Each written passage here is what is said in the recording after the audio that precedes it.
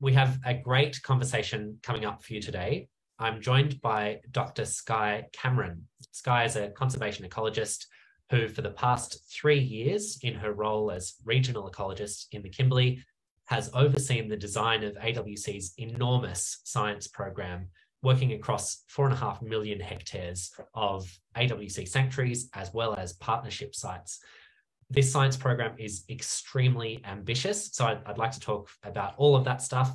And on top of that, uh, Skye has a diverse background in conservation ecology from researching lizard evolution in Australia, uh, in Puerto Rico and New Mexico, and to the rehabilitation of big cats in the Bolivian Amazon. So incredibly diverse background and doing some great work in the Kimberley. Skye, thank you so much for joining us in this first webinar for 2023.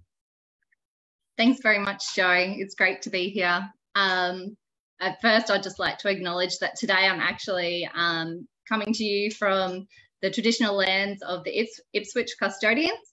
Um, obviously, um, not in the Kimberley um, because of the circumstances at present, but also to acknowledge that we live and work on many different traditional custodians' lands, from Bunuba to Gidja to Wilinggin to Dambimangari, who some and many are our partners, and just pay respects to their elders past and present, and just feel very uh, fortunate to be able to work in that space with them. Thank you, Skye. It's it's a special part of the world, um, and I, I can't wait to talk about some of the work we've been doing up there. Before that, though, I'd love to hear a little bit about your background. And I know that you spent a very long time, eight years, I think, on Groote Island in the Northern Territory. What were you doing there? Yeah, so um, I was actually working for the University of Queensland running a remote research program up on Groote Island, home of the Anindilyakwa people. So working closely with the traditional owners and their ranger groups to make assessments of the small mammal populations up there, primarily the northern quoll, um, but also northern brown bandicoots and other small mammals. Um, and then we also went into some ecotoxicology as well. So there is a large mine on the island. So undertaking research to look at the effects of that mine on the small mammal populations. Um, had a huge array of students. Um, and it was just a fantastic opportunity that gave me a really good grounding for the role that I'm currently doing. Fantastic. So, so you've obviously had plenty of experience doing remote work. Um, what about moving to the Kimberley? Was that a big shift? What what were the changes involved in that move? It was a very big shift going from living in Brisbane and only doing six months six months worth of field work up on Groote. Um, my partner and I did the journey across. It took seven days, moving my whole life to the Kimberley. Um, I think it was this day today, three years ago, wow. that we started the drive. Um, and but it's been an amazing journey to be there. So I moved out to Mornington Wildlife Sanctuary um, and became part of the larger community out there and being immersed in and out on the landscape and the ecosystems that we're looking to, to manage was just a vital um, part of being able to learn and understand the conservation programs that we need to undertake to better conserve that region. Yeah, amazing. Um, I've spent time at Mornington myself. I know a lot of the people watching will have also visited that sanctuary in particular, sort of in the southern central part of the Kimberley. And you may have heard that we've recently faced a flooding disaster in the Kimberley. It's been in the news recently. Um, and unfortunately, that did have a, a, really major impact on our operations base at Mornington. We'll come to that a little later. Um, one of the things that you touched on this Skye was the incredible team that you lead in the Kimberley it's often said that conservation is about people. Um, so I'd love to hear who are the people that you work with in the Kimberley, and uh, you know what do you love about that team? Yeah, that um, huge team up in the Kimberley. Um, we've got 10 ecologists, uh, full-time ecologists, including myself. Um, and we also run an internship program for, so for six months of the year, we have budding ecologists come out and um, I guess increase their skills in the conservation landscape. But we also work alongside and very closely as a larger conservation team with conservation land managers from AWC, um, who are pivotal in implementing the conservation land management programs. But then we also work very closely with our partners. So working closely with Wilinggin, Aboriginal Corporation, their rangers, their traditional owners, and again with Dambimangari as part of another part of our partnership on both the Yampi and the Dambimangari partnership area.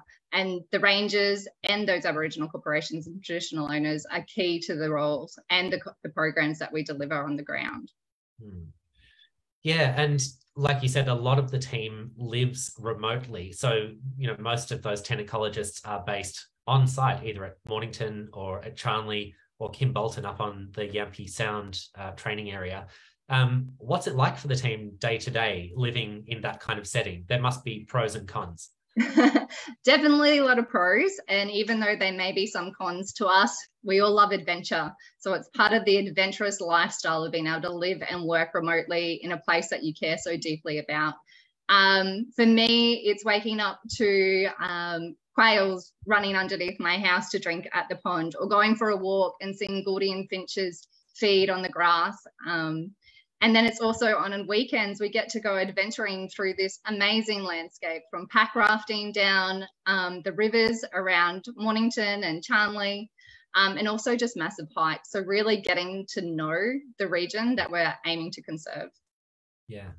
Yeah, being embedded like that is, is a really important part of AWC's model that, you know, our most of our staff are actually out on the ground, not just going to work every day nine till five, but actually living in that landscape and getting intimately familiar with the species that they're studying and working with and monitoring.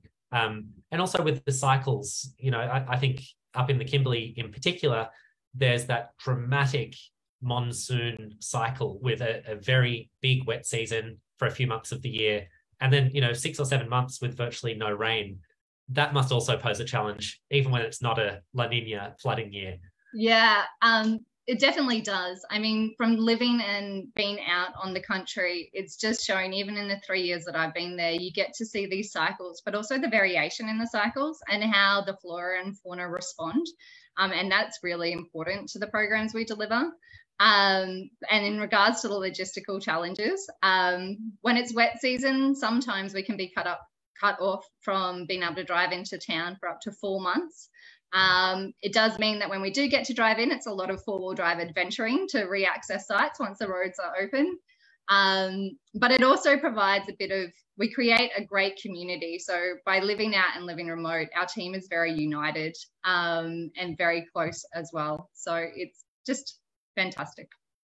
The landscapes are also really diverse. Could you just describe some of the landscapes that you're working in, carrying out this incredible um, science program?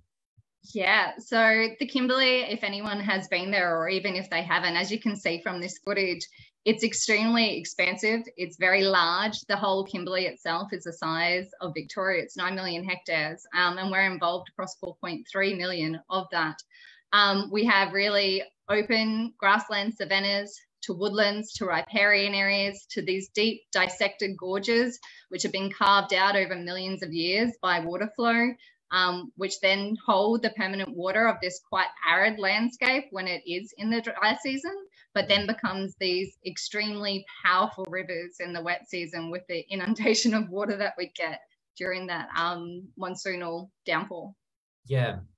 Some of the uh, the footage that we just shared was from a uh, an ABC documentary, which has been going to air over the last couple of weeks, and it's uh, very exciting to hear that your work and AWC's work in the Kimberley will feature in the third episode, which is uh, going to be on ABC next Tuesday evening. So everyone, put that in your diaries. It's called Australia's Wild Odyssey, um, and they captured some incredible sequences of the work you're doing, but also some of the wildlife up there what are some of the programs that you've got running at the moment? Because it, it's a very ambitious science program, isn't it?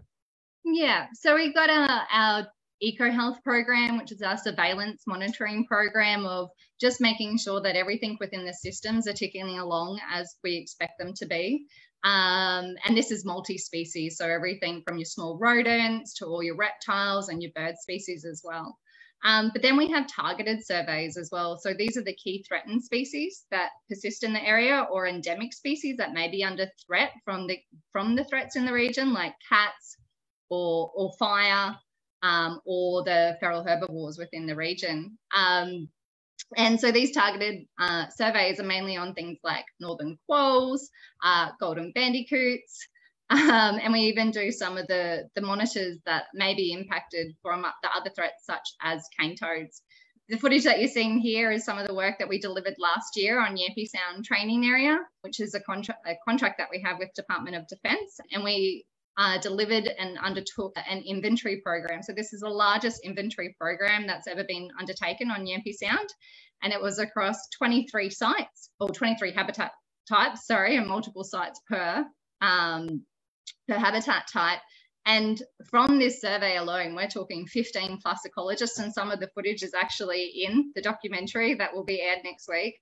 Um, it was a huge program and took months to deliver. And from that alone, we have added more than 30 species to the Yampi Sound species list and huge range extensions for a lot of those species as well.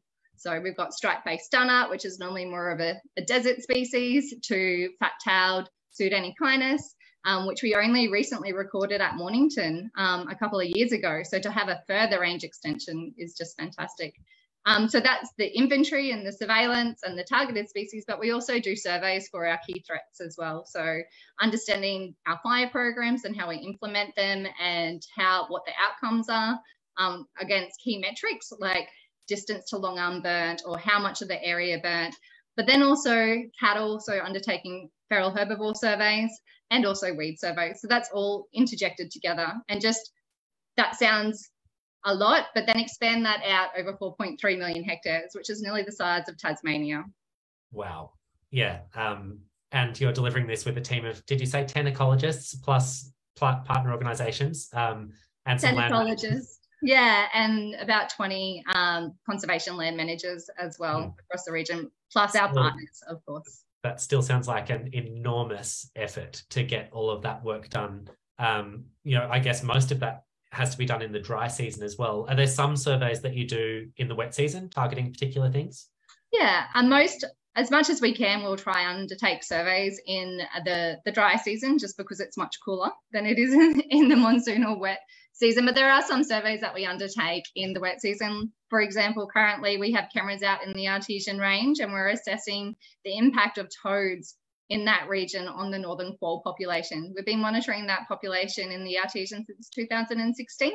Um, and this is kind of the, the end of that um, program to look at three years later, after the toad invasion, what has happened to that quoll population. And from that, we can start having more targeted I guess, management actions from it? Do we, what can we do to make sure that quolls persist in this area?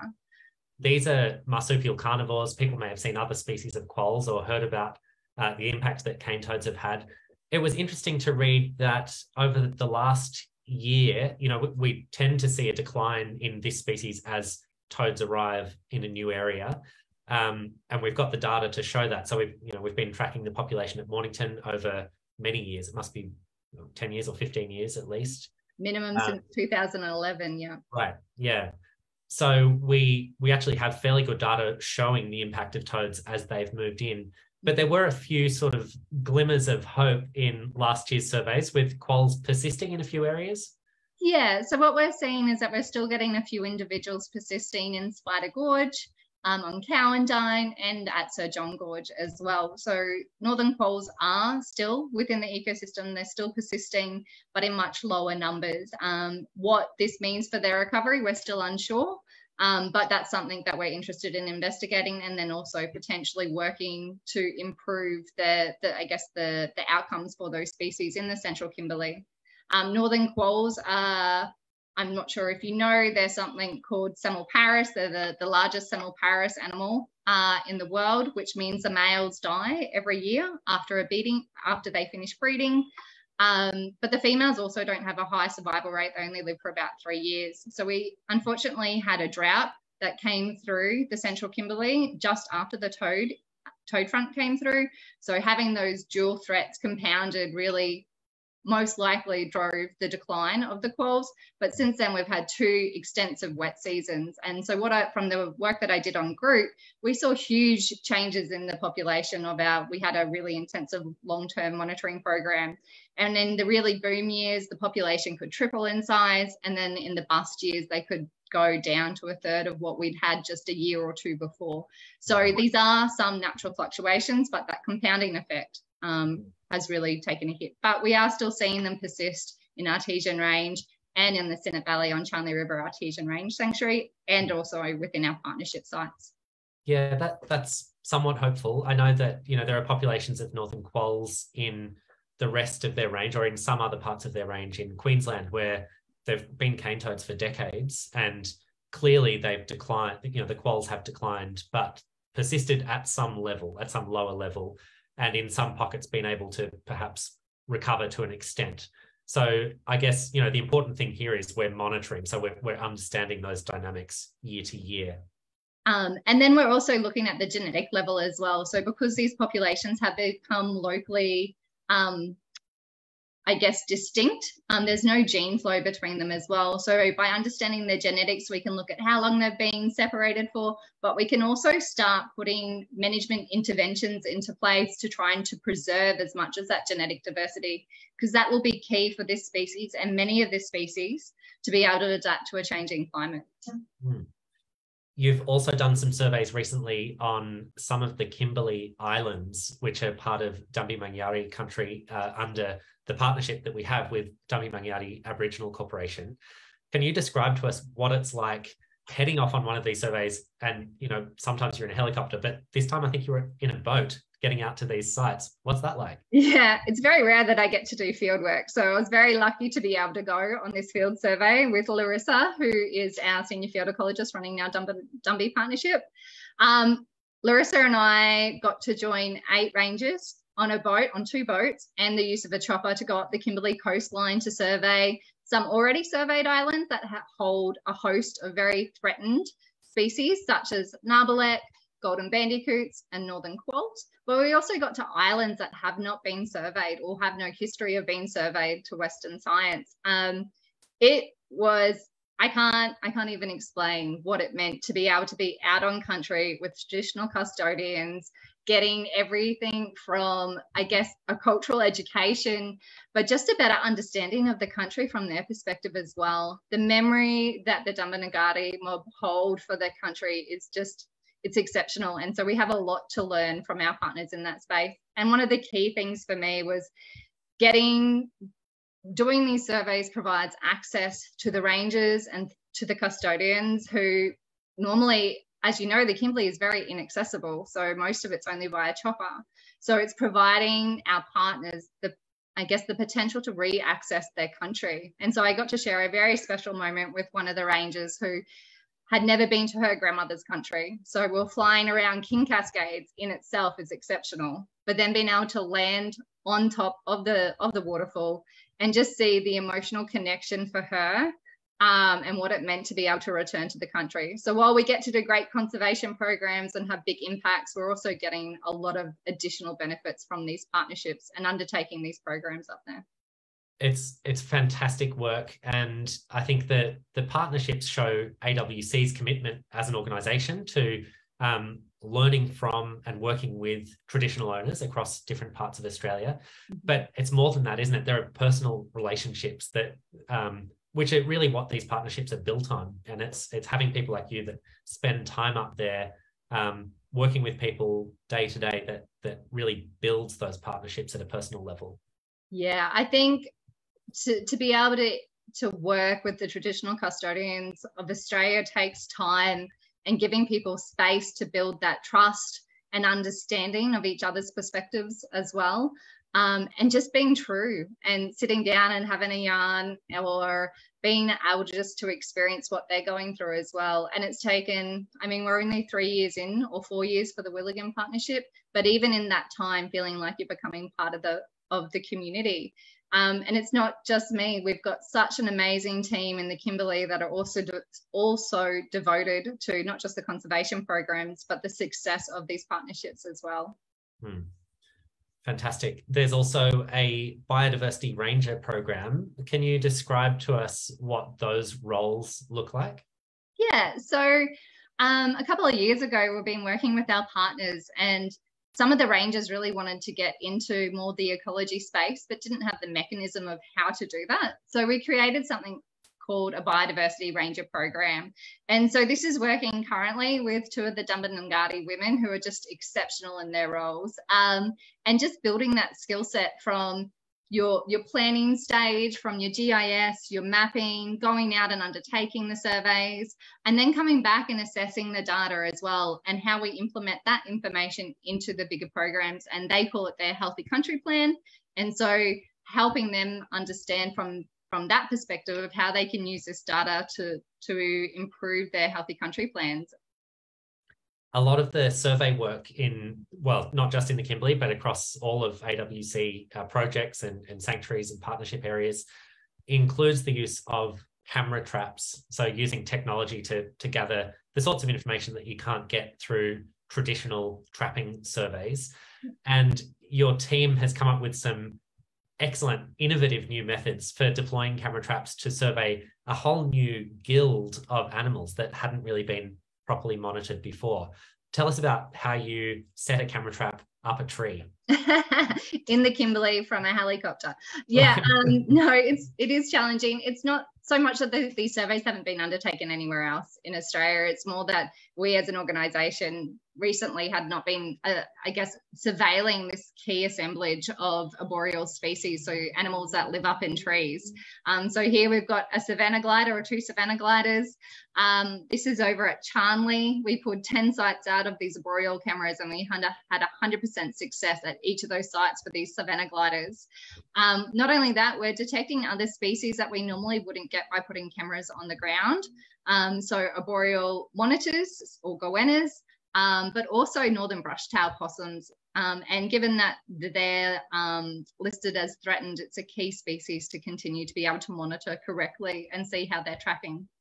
That's one of the ones where um, you know listeners from down south have uh, uh, you know struggle to understand how brush-tailed mm-hmm. possums could be considered a threatened species. Where I am in Sydney, you know they're outside here in, in the west, uh, in, in Queensland, but um, in Northern Australia, they have declined. And it seems likely that that's something to do with the change in fire regimes. Um, we know that fire is one of the, the key um, components of Northern Australian savanna ecosystems. And we've talked on here before a lot about AWC's prescribed burning program that we do through the Northwest. Um, but the scale of it is astounding. It's across more than that four and a half million hectares that you talked about. Um, that's been going on for a long time. Are you seeing results in, you know, the, the impact of that improving fire regime in the sorts of species and the populations that we're detecting? Yeah, um, we deliver the program now across 6.1 million hectares in partnership with our partners, so Wilinggin and Dumbat Um, and it's been going since in some in a smaller form as the EcoFire project since 2007. So it's a quite an extensive 15 plus year program. And over that time, we've seen a, a substantial, um, I guess, improvement in how fire behaves within the landscape. So the idea is to reduce that overall late dry season fire, um, which we have done across the huge, huge areas. Um, our partners also have carbon projects that they've been running since 2010. So we're just helping them to deliver those programs and they've seen similar results within those areas over the last 12 years. In regards to the outcomes for the species on the ground, uh, there's a large array of evidence that suggests that combined with fire management and removal of feral herbivores, we see an increase in uh, small mammals within an area. Um, but we're also looking at different grasses and how they interact as well for um, key threatened bird species, such as the, the Gouldian finch around Mornington, Down and Tableland. Um, but the idea is by removing those late dry season fires and having those cooler early dry season fires that we're maintaining a lot of those hollows and resources that are so important for not just the arboreal species but a lot of the other species that use them to to nest or breed or hide or retreat in mm. that's it's long-term stuff isn't it because you know layered on top of improving fire regimes we've got these dramatic weather extremes where you might get a wet season like we've just had and then it might be dry for another six or seven years with with lower rainfall over the wet seasons. So those, I, I, guess, through the data we gather, it's attempting to unpick those big spikes and and draw out the causation. Um, exactly. Yeah. We've just done a, a research project looking at our fire program to improve our early dry season prescribed burning Um, and we had 20 years worth of data, and everyone thinks 20 years is a long, long-term data set, but really it's only 20 data points. So we are using that evidence, but it is conservation, especially at this landscape scale, is not just a 10 or 20. We're talking hundreds of years, and it's a consistent, ongoing need to, to implement these conservation programs. Here's to the next hundred years of um, conservation work. Yeah. Um, so from fire to flood, and I've I've touched briefly on the uh, the filming that you did with the film crew for Australia's Wild Odyssey. Another quick plug for that next Tuesday evening on ABC. I strongly recommend everyone watches. It's a, a really wonderful series, um, basically focused on the ecology of Australia, but water is the connecting thread that they're using to, to tell the story of these different landscapes, different species, um, and different ecosystems. Um, so that's that's all very well. That's a great story about water. Um, but in uh, well, just around New Year this year, there was a really big flood event at Mornington. What happened? Yeah, so um, it was a very big event. So we knew that it's tropical cyclone Ellie was moving across through the Kimberley. So in the week leading up to New Year's, there was lots of back and forward with the team about making sure that vehicles were moved high and everything was tied down. Um, and then on the second or the first of January this year, the the low sat over that central Kimberley area for more than five days, and within three days we received more than 800 mils on top of Diamond Gorge, and that is double the amount of rain we received in 2019 in three days. Um, and because of that and where it fell, Diamond Gorge acts like a dam, and that water just and across the whole array of the huge landscape of where that water fell um, started to back up. And unfortunately, the team we had four of AWC staff and four Purple Crown Fairy Wren researchers on site, and three of the team also over at Charnley River Artesian Range. Um, and we could never, ever have anticipated what the water and that that amount of water that would have fell and how it accumulated within and around the Mornington operations base. So the team were on the ground and just watching water rise higher and higher and just trying to ensure their own safety. So they tried to, they moved everything as high as they could and got whatever they could and moved to safety um, up at my house um, as the water continued to rise. Um, very, very luckily, the team who were on the ground both at Charnley and at Mornington were all safe um, and able to be evacuated after some logistical challenges because even getting the chopper out to site, we had um, our contractor who's part of our community um, do everything he could to get the team out, but it did take two days for a chopper to be able to safely get out on the ground and retrieve the team. Mm. And for the team, it's really hard. So we I mean, this is our life. We live out there, our homes are out there. Um, we've devoted our life to the conservation programs, and to watch all of that go underwater has just been absolutely heartbreaking for for the team. Um, yeah, it's a, a very difficult start to the year, and yeah, devastating. I can't even imagine what it would be like for you and your team who live out there. This, like you said, it's your home. I know some of our viewers will have been to Mornington possibly had a meal in the restaurant. And this is, you know, a fairly shocking image, but this shows the level of the water that had backed up from Diamond Gorge, inundating all of the visitor area through the safari tents along Annie Creek. Um, all, it got much higher than that at the restaurant. So, you know, it's kind of at least two meters above ground level uh, there at the restaurant. And then you know the most devastating blow of all that the research center was also flooded um, which impacted a lot of our equipment. A lot of that was destroyed or lost. Um, and so it's yeah it's a huge disruption. And you know on behalf of awc but i think on behalf of all of our community of supporters as well we're all thinking of you and wanting to do what we can to help your team get back onto the ground and important you know continue the important work that you're doing Thanks, Joey. And it's just acknowledging it wasn't, it's not just AWC, it's a whole entire community of the Kimberley as well. Um, we were heavily impacted, our major operations were as well. But um, the amount of destructive water that went through that region, um, all the ways, as you know, Derby's currently cut off. So we're working really closely with our partners who are offering, even though they're challenging and dealing with difficult times, are already offering support to help us with the cleanup. Um, the Kimberley is an amazing community. It's very people focused. Um, and while the team and we're all still reeling from the events, um, as I mentioned earlier, we're very united um, and very close and want to, we're here because we believe in the conservation programs we're trying to deliver. So while it is a big setback, um, no data was lost. Um, unfortunately, the herbarium that took more than 20 years of Helen volunteering to collect um, has sadly been lost, but things can be rebuilt. Um, it will take time, it will take dedication, persistence, but the team are very dedicated. AWC is very dedicated, um, and even the Kimberley region in itself is keen to get up and get going again. Yeah, that's right. We're, we're committed to getting back to work. We've also launched a fundraising appeal. So, for anyone watching, if you'd like to make a contribution to help Skye and her team get back out to Mornington and continue with these critical science and conservation programs in the Central Kimberley, you can go to australianwildlife.org.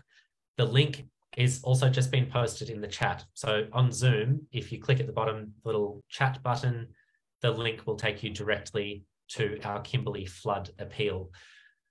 Really, it, it will take a while for us to get back on our feet in the Kimberley. Um, so it'll be a challenging year ahead for all of you in the Northwest, and we're thinking of you. Um, Skye, thank you so much for sharing all of this wonderful work with us and telling us about the wildlife, the landscape, and the people of the Kimberley. You're welcome. Thank you, Joey. And thanks for everyone for listening. Thanks, Skye. To everyone who has supported us, thank you. All of our work is funded by your generosity.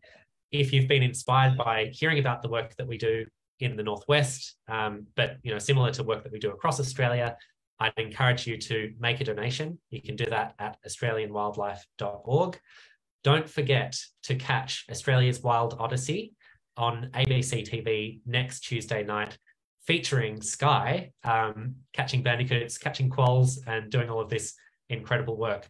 That's Australia's Wild Odyssey, um, ABC next Tuesday evening, and it's also available to watch on iView by streaming. Thank you, everyone. I hope to see you next month for our next webinar, and I'll talk to you then.